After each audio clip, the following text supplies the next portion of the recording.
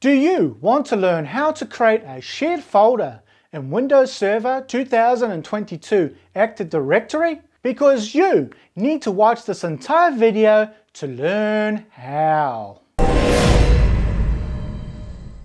To create a shared folder in Active Directory, we first need to select a container or organizational unit to store it in.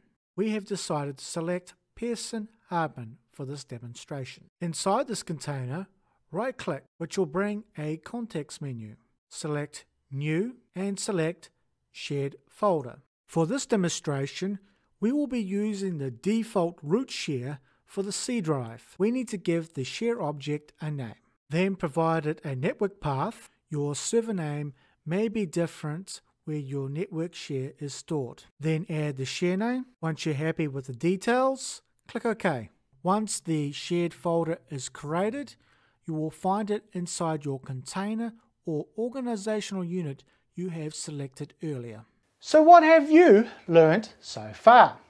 We have shown you how easy and simple it is to create a shared folder for Active Directory in Windows Server 2022.